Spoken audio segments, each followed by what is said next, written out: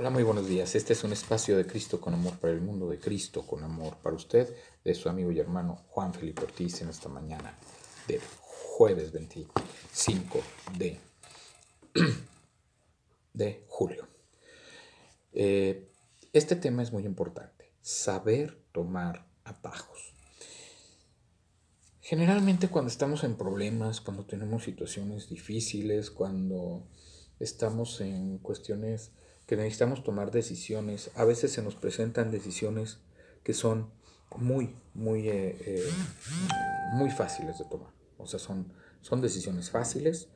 Eh, y estas decisiones fáciles, pues es un atajo, un atajo a la verdadera decisión o la verdadera respuesta que deberíamos tomar. A veces es más fácil tomar un atajo que tomar el camino que nos lleve a aprender y a conocer y hacer de testimonio. A veces las cosas que valen la pena son difíciles. A veces las cosas que nos cuestan más las valoramos más, les damos más valor que aquellas que son más fáciles.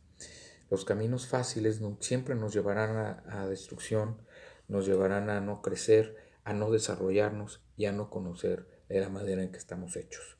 Y por eso es que Dios siempre nos ayuda, ¿verdad? A conocer que nada más hay dos caminos, ¿verdad? Uno angosto y uno ancho. Entonces, ¿cuál es el que debemos tomar?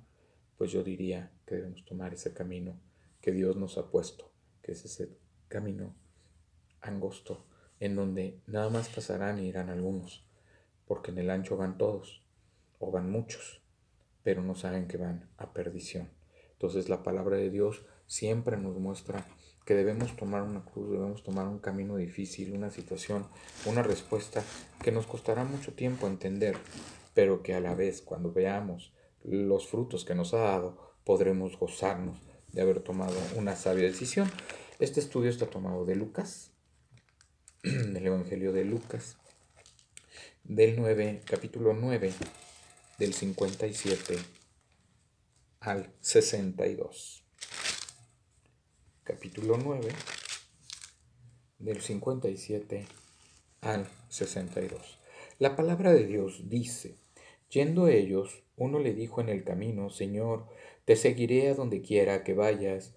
Y le dijo Jesús, las zorras tienen guarida y las aves de los cielos nidos, mas el Hijo del Hombre no tiene dónde recostar su cabeza. Y dijo a otro, sígueme. Él le dijo, Señor, déjame que primero vaya y entierre a mi Padre. Jesús le dijo, deja que los muertos entierren a sus muertos, y tú ve y anuncia el reino de Dios. Entonces también dijo otro, te seguiré, Señor, pero déjame que me despida primero de los que están en mi casa. Y Jesús le dijo, ninguno que poniendo su mano en el arado mira hacia atrás es apto para el reino de Dios. Como hay personas que cuando tienen que tomar una decisión, y más cuando se trata de seguir a Cristo, de, de reconocer una vida de compromiso y de amor en Cristo, de entregar tu vida a Cristo, de tener una vida nueva en Cristo, eh, de obedecerlo y de rendirte a Él, ¿cómo cuesta trabajo? ¿Cómo cuesta trabajo saber que no es solo una oración la que te da la salvación, sino el verdadero compromiso y el verdadero amor de seguir a Jesús? Y pues cuando antepones otras cosas antes que Jesús, pues no podrás, no podrás dar pasos certeros, ni tener decisiones certeras, ni inclusive tomar caminos seguros, porque todos los caminos que quieras tomar, si tú quieres, ah, pues déjame irme a despedirme, espérame aquí, déjame despedirme. Si el Señor le hubiera dicho que sí, se hubiera quedado esperando, no sé cuánto tiempo ahí, para que la persona fuera.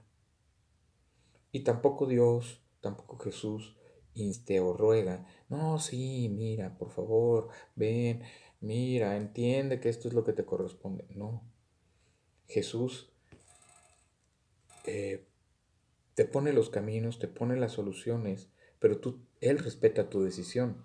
Si tú tomas una, una decisión que no es de acuerdo a su voluntad, Él la respeta. Él te va a dejar que vivas tu proceso, pero Él nunca va a, a, a forzarte a hacer algo que no quieres hacer. Sin embargo, muchas veces preferimos hacer lo malo, muchas veces preferimos los caminos que nos llevan a maldad, a destrucción, que nos llevan a destruir nuestras vidas, que los que el camino de Dios que nos lleva a construir una vida de compromiso, de amor, no fácil, pero una vida que es mucho más eh, productiva y, y, que construye más y que nos hace mejor porque Dios está ahí. No vas a dejar de tener problemas, pero si Dios está contigo, si Jesús está contigo, vas a poder salir adelante de acuerdo a su palabra y vas a poder y va a poder el cumplir las promesas en tu vida si tú le obedeces, lo guardas sus mandamientos y lo sigues. Pero si tú como estas personas prefieres dejar las cosas atrás y, prefieres dejar a Cristo y seguir con tu vida, pues por eso dice ahí, ¿verdad?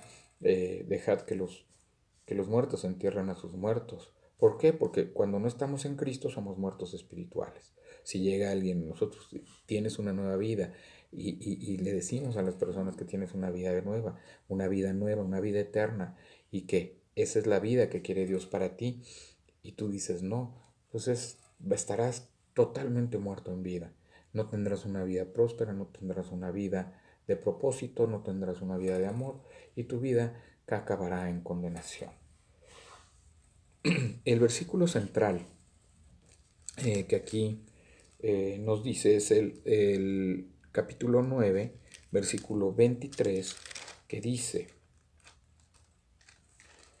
si alguno quiere venir en pos de mí, niéguese a sí mismo, tome su cruz cada día y sígame. Si alguien quiere venir en pos de mí, tome su cruz, ¿verdad? Deje lo que está haciendo, deje su vida como lo está haciendo, niéguese a sí mismo, es decir, niega todo aquello que no te está haciendo bien, niega aquello que no te está llevando a un camino seguro, lleva, eh, eh, niega todo aquello que en tus hábitos de vida te están produciendo un dolor y entonces toma tu cruz, toma tu carga y sígueme. Porque recuerda que si vamos con el Señor, con nuestras cargas, Él las hace más ligeras y Él toma tus cargas y te da una vida de gozo y de paz y de amor. Mientras bebía su té, Nancy miró por la ventana de su amiga y suspiró al ver una exuberante extensión de colores en un cantero de flores bien cuidado. Quiero lucir así, dijo con melancolía, sin tanto trabajo. Algunos atajos están bien, incluso son prácticos. Otros hacen que nuestro espíritu entre en cortocircuito y nos insensibilizan. Queremos romances sin comprometernos con alguien tan distinto de nosotros. Queremos grandeza sin los riesgos y el fracaso necesarios en la vida real. Deseamos agradar a Dios, pero no si nos resulta inconveniente. Jesús aclaró que no hay atajos para evitar la decisión difícil de consagrarle nuestra vida. Le advirtió a un posible discípulo, ninguno que poniendo su mano en el arado mira hacia atrás es y mira hacia atrás es apto para el reino de Dios. Seguir a Cristo requiere que alteremos radicalmente nuestras lealtades.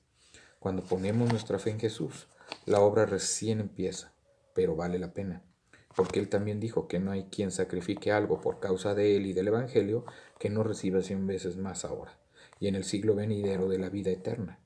Marcos 10 del 29 al 30. Y en el siglo venidero, seguir a Cristo es difícil, pero Él nos ha dado su espíritu y la recompensa de una vida plena ahora y siempre.